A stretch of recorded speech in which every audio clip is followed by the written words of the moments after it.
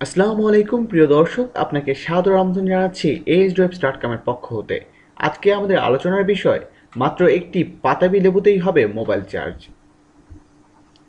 আপনার হাতের ফোনটি এখন আপনার নিত্যদিনের সঙ্গী। তাকে ছাড়া এক মুহূর্ত চলতে পারেন না আপনি। কিন্তু ফোনটির ক্ষেত্রে আপনাকে প্রায় যে সমস্যায় পড়তে হয়, তা হলো ফোনের চার্জ শেষ হয়ে যাওয়া।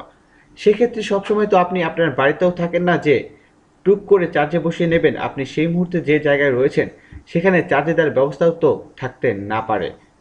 কিন্তু যদি আপনি সেই মুহূর্তে আপনার মোবাইলটাকে চার্জ দিতে চান, তাহলে অবশ্যই কিন্তু সেখানে চার্জ দেওয়ার ব্যবস্থা থাকতে হবে। মানে মোবাইল চার্জ দেওয়ার মতো প্লাগ পয়েন্ট থাকতে হবে অবশ্যই। দ্বিতীয়ত, আপনাকে সবসময় আপনার ফোনের চার্জার ক্যারি করতে হবে। কিন্তু সেটাও তো সবসময় আপনার পক্ষে সম্ভব নয়। তাহলে আপনি করবেনটা কি?